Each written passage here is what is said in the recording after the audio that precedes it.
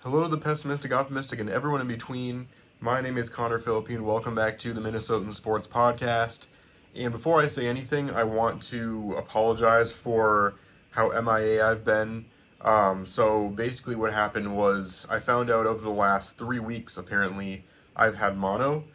And I found this out because a couple weeks ago I had this like eight day long fever where I was just feeling like crap the entire time I got it multiple tests for it, and they couldn't figure out what it was. It wasn't pneumonia, it wasn't flu, and then that finally went away. And then what ended up following after it was this really inflamed tonsil situation that I had, and that just kind of started going away today. Like the last nine, ten days, I had this just really bad tonsil inflammation and just horrible pain while I was trying to eat or swallow anything and talking was very labor intensive as well. And so for all those reasons, the last like two, three weeks, I just have not been really in the mood to post anything. And it was kind of a, a slow time because the Twins were just kind of starting out and the Wild weren't going to make the playoffs and everything like that. But thankfully, I'm my voice is back just in time for the draft stuff to start happening for the NFL. Excited to be back for that. But this video is just a quick rant just kind of talking about what we think could potentially be wrong with the Twins. We know really eh, at a baseline level what's wrong with them. And it just, it sucks because it feels like we're just watching the same season we watched last year before the Twins eventually turned it on a little bit more and made the playoffs and, and all that stuff happened and, and we actually accomplished some things in the postseason. But it just kind of feels like this is a copy paste of what happened in the middle of last season and obviously, we have injuries that we can try and blame some of this on. You know, we've got Royce and Correa both hurt, and a, a few of these games we probably would have won if we had them in. But we can't just blame injuries on why we are 6 and 11 to start off the season. We just got swept by the Orioles. I'm recording this maybe an hour after the Orioles just walked us off uh, in in the final inning and it's just I don't know if it's an energy thing or what it is, but players are not stepping up that we thought would step up, and I was hoping at the very least the absence of Royce and then eventually the absence of Correa would lead to some of these young guys finally being forced to step up and start playing better. And honestly, Austin Martin is the only player currently on this roster that has shown any kind of promise over the last couple of weeks. I mean, going down in order here, Julien, had, besides coming with a couple of clutch home runs in that Dodger series, has done nothing. 175 average. Jeffers has actually been okay. I guess that's the second guy on the roster that I've actually had a little bit of confidence in. Buxton is my biggest frustration because year after year, I just I heard it in my ear. Just wait until he's healthy. Just wait until he's if he can put a whole season together with full health, he's just going to tear the league apart. Well, here we are. 3 weeks into the season, Buxton has been completely healthy. He's been playing in center field besides a couple spectacular catches and maybe one or two clutch hits. Buxton has done nothing. He can't hit a slider. He can't hit pretty much anything off speed it's just so painful to watch a guy like Buxton that year after year we were just told, hey, all he's got to do is put together a healthy season. Here's your healthy season, Buxton, and you're blowing it. And I don't understand what else we can ask for, for from Buxton. Everything is in his favor right now, and he still can't hit anything. And then we've got Kirilloff, who is doing okay. It kind of feels like he has a good game than a bad game, and he just hasn't found consistency. But at least he hasn't gotten hurt yet. Jose Miranda has done pretty good coming up, uh, but again, it, it, all comes down to hitting in those those high leverage situations. Larnach just came up, can't say much about him. Margot can't hit anything. You know, again, I said Austin Martin actually has been pretty good since he's been called up. Hopefully he can stay up. Willi Castro has been one of our worst hitters. And then besides one clutch hit in this game that we just watched, Kyle Farmer has had one of the most horrific starts to a season I've ever seen, including a key ball right between his legs in that Tigers game. the the first Tigers game, I think, or maybe it was the last Tigers game. Yeah, the one that we blew after being up two nothing.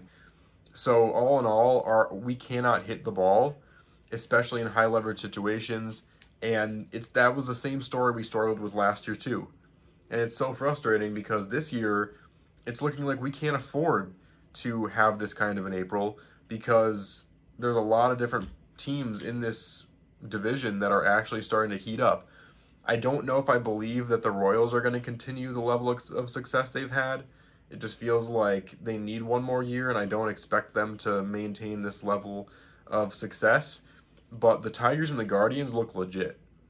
And I feel like we're going to have to win upwards of 90 plus games this year if we're going to be able to win this division.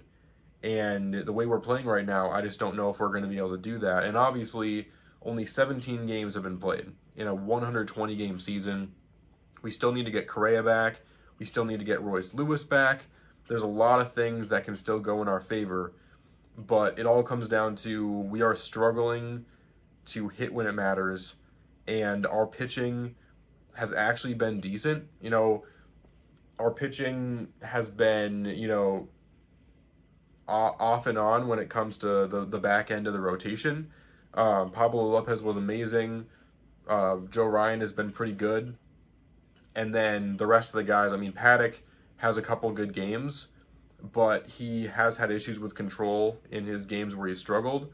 And it just feels like even when he does put together a good game, he can only go like four innings, which isn't bad because our bullpen has honestly been one of the best in the whole league, to be honest. But then after that, we've got Varland, who just, I hate to say it, he seems like a, such a great guy, but Varland just has been struggling greatly so far. And it's just, it's, it's tough because you have to make some decisions about, about all that. And having a third guy in this rotation that's consistent and a good starter, like we could have gotten with a guy like Jordan Montgomery, but we didn't pay him, that's a major factor for us right now and we could have won a couple more games, I think. Even though our biggest issue has been hitting, I think pitching could have have been a, a bigger thing to, to focus on in the offseason. And it's clear that we're going to have some big issues in the third game and sixth game of every series that we could potentially have in the playoffs if we even make it. So that's another big concern is we don't have our third guy. Our bullpen is amazing, so for the rest, for the most part, our pitching is in pretty good shape. It's just can we win enough games with so much uncertainty at the back end in the regular season to even be able to get to that next level. And then I believe in our ability to get ahead of this these hitting issues, especially once Royce Lewis comes back, Correa comes back. When those two are on the field at the same time, I definitely think there's an extra spark. But can those guys stay on the field is the question. And can all these other guys rally behind them and actually become better players because they're on the field and not just cower behind them and hope that Royce Lewis generates all of our runs? So it's kind of one of those things where we're 6 and 11.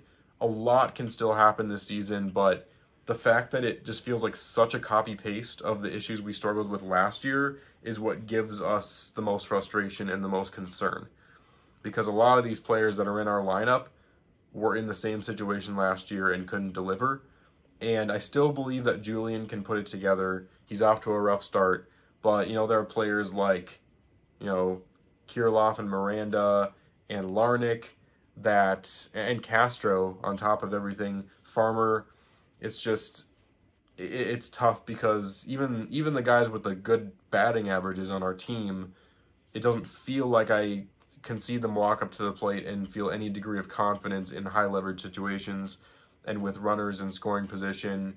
It's just, it's the same situation as last year, and we need to find some way to fix it. But let me know in the comment section what you think we need to do to fix it. Is the only solution to this hope, hoping that we win enough games before the trade deadline and then hoping that we make a big trade? Who knows? But as of right now, I don't think this front office would see the way that this team is playing and think that it's worth giving up any prospects to make this team better. So we're going to have to find a way to really turn it on in May and in June. But again, let me know in the comments what you think. Please like and subscribe. I'll be back with a lot more NFL draft action in the next couple of weeks, and I'll see you on the flip side.